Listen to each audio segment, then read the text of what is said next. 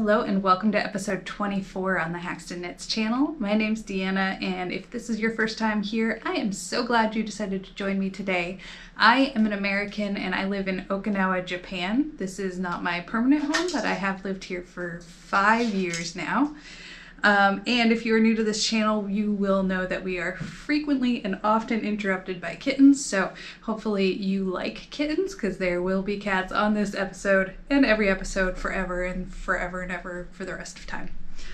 I am super excited. I feel like I have a ton of things to show you this episode, which is weird because I um, woke up this morning with like zero plan to record and um, feeling totally unorganized.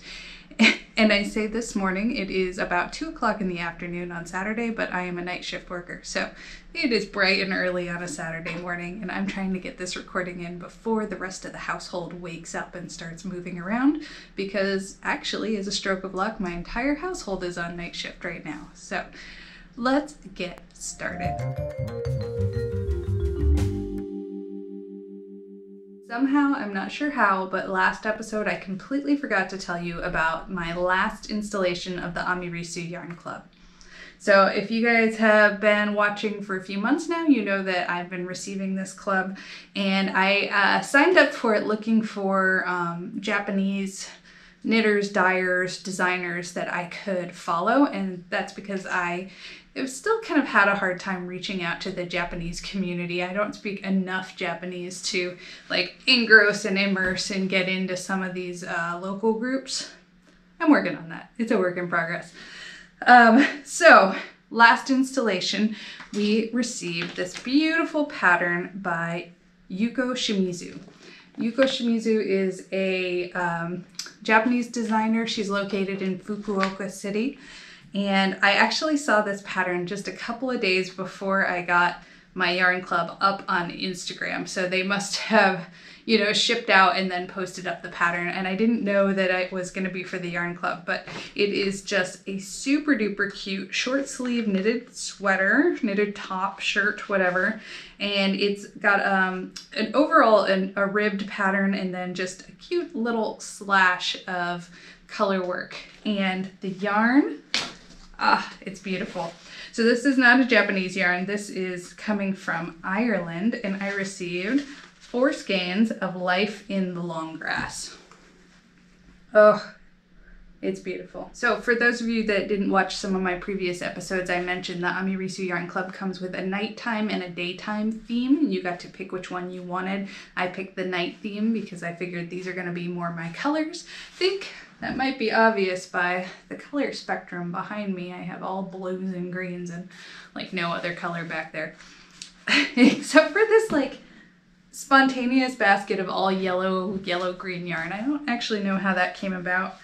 Um, anyway, so this particular yarn, it's a sport weight yarn. It's 100% superwash merino and the colorways are Night Sky, which is this awesome indigo, dark blue. And of course, the great thing about hand-dyed yarns is that you kind of get some variation from skein to skein. And two of mine ended up somewhat brighter than the third one. And I'm actually totally fine with that because it'll make a lot of interest and depth as I, uh, you know, kind of work these in together. But these two definitely have a little more flashes of white um, and just a little bit more depth. It looks like this particular skein got a little more saturated than their other ones. And I think that is just fine. I might even consider using it as like a, a part of a fade or something like that to help ease the color transition. And then of course the last one, this beautiful contrast color is called Starlit. It is the palest sort of lavender gray with just speckles of chartreuse and like teal blue and purple and orange and pink and you know like the whole spectrum of the rainbow and I just absolutely love this yarn. As soon as I saw it I immediately thought of several patterns that I want to knit with it which I will um, maybe slide across the screen here because I don't have all their names in front of me but there are definitely a couple of um, sort of cropped sweater t-shirt patterns that have been in my queue for a long time that came to mind right away when I opened up this skein of yarn. So super excited. That is it for the Amirisu Yarn Club.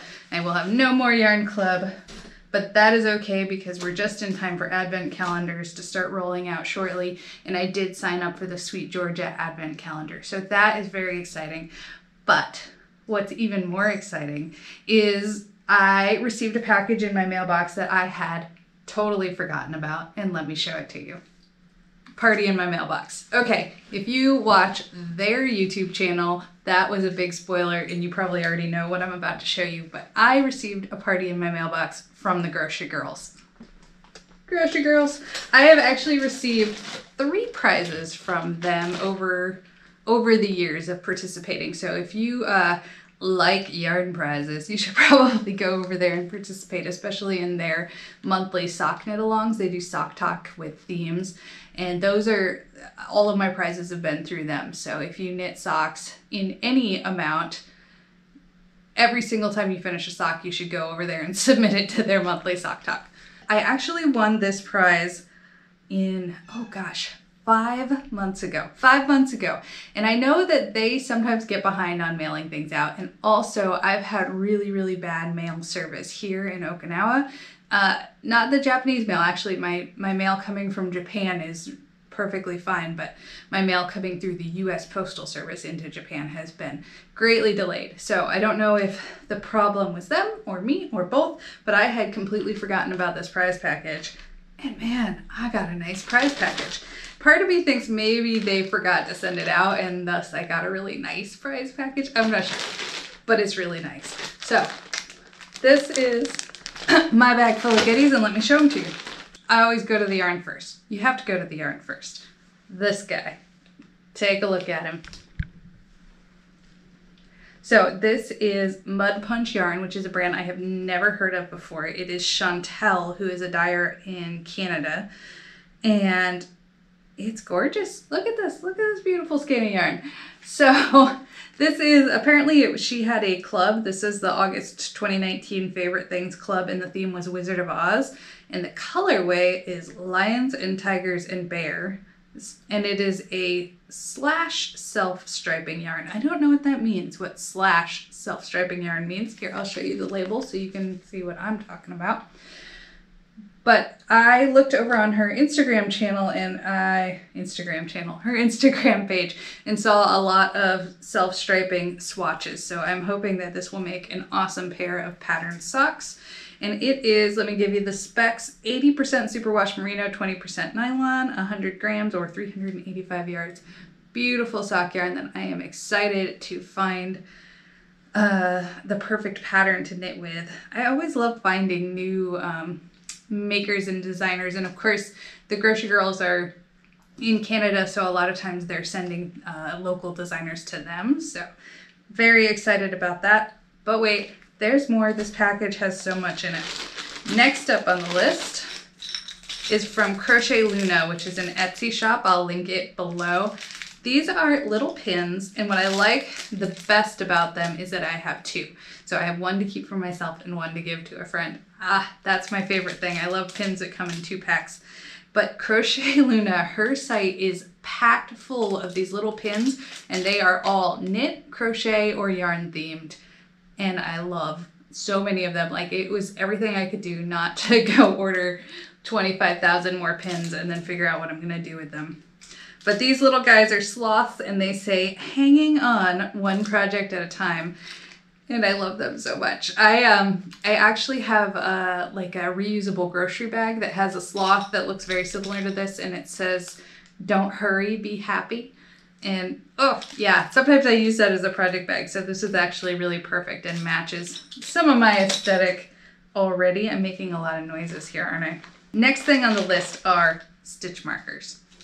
These guys are little gorgeous wooden stitch markers. It says handmade in Canada by Big Blue Moma. And when you go over to her website, it says fair trade and Canadian made handcrafts with Ghanaian flair. So Ghana, I'm assuming. And uh, there is so much more on her site than just knitting things. She has um, like baskets and household goods, but also really beautiful project bags and obviously cute, cute, cute stitch markers. These look like little houses and maybe a little hat or bird. Uh, gosh, super adorable. And I am a sucker for stitch markers, especially ones that have, I don't know if you can see this, the rings themselves are solid. There is no way to open them at all. And what I mean is like, not just like stitch markers that are closed, but stitch markers that have no seam. So like they don't have anything that's gonna catch or snag on the knitting on the loop itself. Those I just love, love, love. And these are really nicely made and really nice quality. So super excited about these stitch markers. But wait, there's more Gosh, this prize package was so big. This is my favorite thing in here. So this is Wild Strands Handcrafted. As soon as I opened this and like touched it, you can tell that it is a really sturdy, like nice quality object. And what is it? I know you're asking. It is an interchangeable needle set. So inside looks like this. There's got lots of little um, pockets for interchangeable needles, a big pocket for your cables, and then of course a zipper pouch. And the fabric inside, I can't show it to you, but it's so cute. It says, strong women lift each other up. And it's just a beautiful floral print with a silhouette in there. And then of course it's got this nice leather closure and uh, I love this so much. As soon as I saw it, I thought, okay, I have to go and see what else is on her shop. And on her shop, that she has bags that look like they're made out of this exact same material. It's like a it's a waxed canvas, but it feels very sturdy and the leather feels very sturdy and all the fixtures feel really nice. I expected these to be so expensive. like when I went on to her shop, I expected these were going to be very expensive and they're not. They're really reasonably priced. And she has like big bags that are made out of these same really nice quality materials. So super excited about this. I am in a little bit of a conundrum. If you have watched for a while, you may know that I have a little bit of ADD about uh, interchangeable needle cases. I love them and I'm constantly searching for like the perfect one. And I really always want to put all of my needles into the same case together, but then they get a little bit unruly and unmanageable. Right now I have like a whole set of these guys. This is my, um, my carbon interchangeable needles are in here. And then I have like matchy matchy, all of my crochet hooks are in this one. And then this one's a little bit not as nicely folded, but these are like my fixed circulars and some of my cheaper needles. And then I also have a really nicely handmade um, circular needle roll up that was made for me. And it was, gosh, it was made probably 15 or 20 years ago for me and it is really I need to retire it but I love it so much that I just can't stand to get rid of it. So I am really torn. I right now have my new set of the uh, these guys, the Chinese needles that I can't pronounce, ChiaoGoo, ChiaoGoo, um, in their original package and uh, well, I don't really love this pattern. The packaging is actually really nice on it. So I'm tempted to transfer these guys into this case or I actually have um, a little bit more than called for in here. So I have these needles, but these guys here are actually the, the minis, the lace mini sets. Um, and they all fit nicely. So yeah, I'm torn. I'm not sure if this will end up being an interchangeable case for me or maybe a notions pouch or maybe my crochet hooks might go in here if they'll fit. So we shall see. But this, this is stunning. Like I'm really impressed with this thing. Of course, I'm going to put all the links below to all of these things because I feel like I have a lot of things to link below this time. And how are you ever going to remember them all? I'm a little scattered today. But wait, there's more. the last thing in this kit is this cute, adorable little um, knitted cuff kit. So this kit is by Laura Nelkin, who is a designer who lives in New York. And it's a little kit to make this beaded like bracelet cuff. It's super cute. So it comes with your pattern, which I will not show you, but there's a link to your pattern code in there. And then it comes with a little bit of yarn because this isn't a big project. Your beads. These awesome little leather um, closures so you, you, can attach them onto your cuff and attach uh, take them on and off which I think really makes this a cool kit like I'm such a sucker for nice little leather closures and then it also comes with your own beading needle. I laugh. So this is one of those um, dental floss like super dental things where if you have like a bridge or braces or something like that what you can do is put your uh, floss through here and then like feed this under your bridge and it'll pull the floss through. But this is actually exactly what I use when I do any sort of beading with yarn because I'll do the same thing so super cute kit. I think this would be an awesome stocking stuffer for maybe a new knitter or a um, maybe like a younger knitter, like a, a teenager or tweener or something like that. Uh, super cute. I really like it. I'm going to play with this a little bit because the pattern is pretty straightforward and I think I can probably zhuzh up the pattern a little bit with the beads and get a really nice um, cuff. And I'm really excited about the little leather closures. So super awesome kit. I it was so much. I couldn't believe it. I am super excited. So all the acquisitions this week are just lovely. You know, it's hard to get into a knitting funk when you have such beautiful, inspiring things coming to your mailbox. All right, that is it for acquisitions. I have two finished objects for you.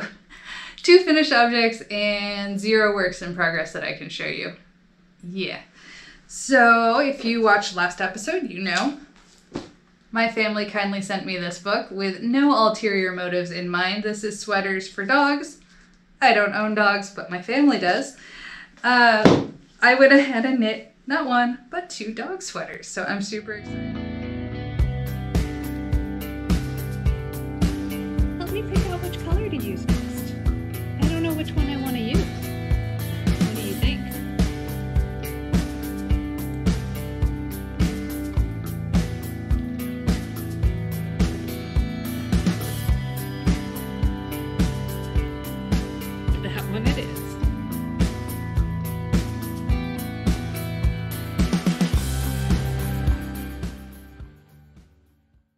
All right, so the first one I made was Ralph's Marvelous Multicolored Sweater.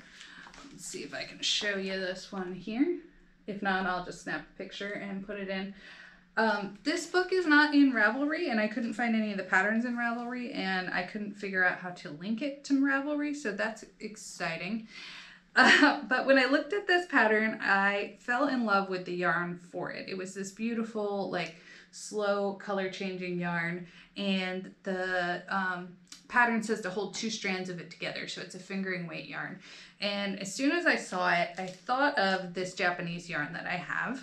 So this guy here is Wister Kaylee which I bought here at a local craft store. Wister is like a Japanese big box brand, although I think all of their yarn is actually made in Turkey but is Japanese brand as far as I can tell. This is an 80 gram ball. It's 73% acrylic, 24% wool, and 3% nylon. And I looked at it and I thought, oh, it's the right kind of color change, but it's kind of a boy color. Like, uh, it's kind of brown. And my mom's dog is a girl. So I also grabbed this particular monster and this is not nearly as cutely wrapped up as the other one, but this is um, some deep stash. So this is some sort of uh, mystery sock yarn that's been in my stash for probably 15 plus years.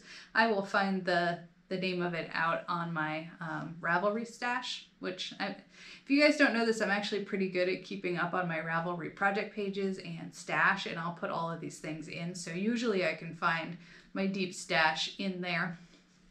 But I held the two strands together and it's kind of awesome because I found two yarns that I kind of felt meh about and they created this bit of gorgeousness. look at how cute these two yarns knit up together. So here's the little legs and head. This I think will be folded back. This is a really cute way to show off this yarn. I um, did attempt to put one of these on my cats and it was unsuccessful. So you guys do not get modeled photos of this at least until they reach my family back in North Carolina. Um, yeah, this yarn in particular kind of surprised me because it looks like this very brown yarn, but I had no idea that deep down inside of this, there was some gorgeous like reds and oranges and purples and much more deeper saturated purple colors. So this turned out gorgeous.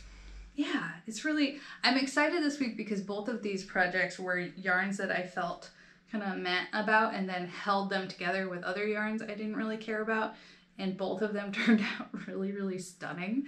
And now I've got like the bug. I keep uh, side-eyeing my stash trying to think about what yarns I can hold together to make cool effects. So let me show you the other yarn and you can tell me what you think. So her other dog is a lot bigger than She's got one like little four pounder and the other one I think is eight pounds and I suspect this might be too big and I might have to reknit it. But this guy here, this is Eddie's Robust Romp Around Sweater. And the pattern calls for you to use two different colors, but I did not. I just, um, instead of using a worsted weight, held two fingering weight yarns together. And it has just little garter ridges, and then the sort of center chest piece is uh, a two by two rib. Oh, and look at how this looks. So um, the yarns I used for this guy were also Japanese yarns. So I am holding together one skein of Olympus Make Make sock. This is not one of them. It was actually this color, but you can see the packaging here. It's 70% wool, 30% nylon. But I held that together with this, which is a um, not a Japanese yarn. This is sock yarn. I'm not going to be able to pronounce this. Here you go.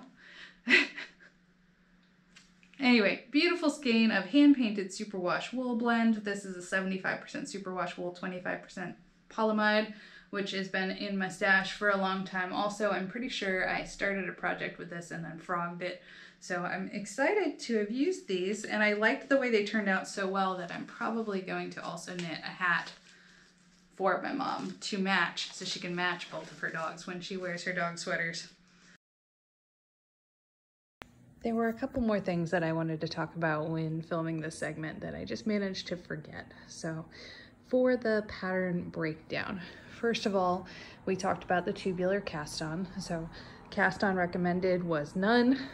The cast on I chose was the long tail tubular cast on, which I rearranged for two by two knitting and I'm recommending this particular um, cast on because it is very stretchy, but it is also a really nice finish and it just makes for a really nice looking edge. For increases and decreases, this pattern calls only for a make one increase. It doesn't indicate whether this is a make one right or a make one left. I chose not to do any of the make one increases. Instead, I used a knit front back increase. And the reason I did this is because the pattern has a garter stitch edge, which is carried throughout. And the knit front back, this particular increase creates two stitches, one of which will look like a knit stitch and one will look like a purl stitch. And I wanted to point this out because where you use a knit front back stitch will oftentimes be different on each side of your knitting uh, especially with ribbing. So a lot of times a knit front back is a really nice increase to use uh, in that transition zone between ribbing and stockinette stitch, such as the end of a cuff or like for a sock or a hat or a sleeve or a sweater. And the reason for this is because that purl stitch, that knit front back, the second part of it, which looks like a purl stitch, will blend into the purl stitches of the row below, and it just looks really nice and finished. So for this pattern, they actually did a really good job of setting up your ribbing so that when you seam it together, your ribbing stays in pattern. And what I mean by that is when you sew together two pieces of flat knitting, you lose one stitch on each side of the seam. And if you're doing a knit two purl two pattern, you want to account for that so that your ribbing stays in a nice pattern once you've seamed it together. I did carry a garter stitch selvage um, up the body of both sweaters and then dropped it completely when I hit the leg hole shaping. And the reason for that is that I like a really nice edge for this leg hole shaping. And it could be a little tricky to figure out how to pick up stitches neatly in garter stitch. So I went ahead and dropped it there so that I was able to clearly see what stitches I wanted to pick up when I started picking up for the leg hole. All right, and last but not least is the bind off. This pattern does not recommend a bind off of any sort. I used a cabled bind off. The reason it's nice is that it's pretty intuitive. Once you've done a few stitches, you can really adapt it to any ribbing pattern. It doesn't have to be strictly a knit two, purl two, or knit one, purl one. And that was helpful when I hit the sections of the sweater where I had a knit three, purl two pattern going on. Guys, that is all I have for knitting. Sorry. It's been a weird, I actually feel like I knit a ton. Um, I did get these done in one weekend. It's been more than one weekend since I talked to you, but I did it in a Friday, Saturday, Sunday, both sweaters completely done. That is not normal for me. I um, was sort of marathon knitting and I will tell you why.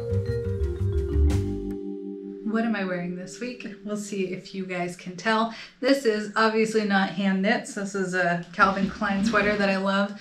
It is actually not nearly cold enough out to justify it, but like I said last week, I miss my cold weather gear.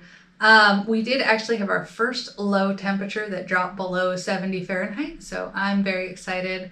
All of the people who live local to this island are um, you know, bundled up. They're starting to break out all of their winter sweaters and hats and coats and and mention that it's cold outside. So I'm excited for the first hint of winter. Um, I don't normally pair knitwear with knitwear, but today I did. I am wearing this beautiful, let's see, ah, skirt. Um, this one is made out of Juniper Moon Farms and it's a cotton yarn and I will put the name of it below. This pattern was originally designed to be knit with alpaca, which would make it a lot more flowy and drapey and floofy, but I knew I was coming to hot weather, so I am wearing it in cotton. But now that it is starting to cool off, I've been thinking about reknitting this one in some alpaca as it was designed, and I think this might be it. I have several skeins of this Surrey alpaca, which came from one of the yarn clubs. Here it is. Salt River Mills Surrey Accessories. So I think that's going to be one of the next things on my needles. Anyway, um, for life in Okinawa this week, I'm not going to do an in-depth Japan culture uh, episode. We're just going to talk about my life and what's coming up.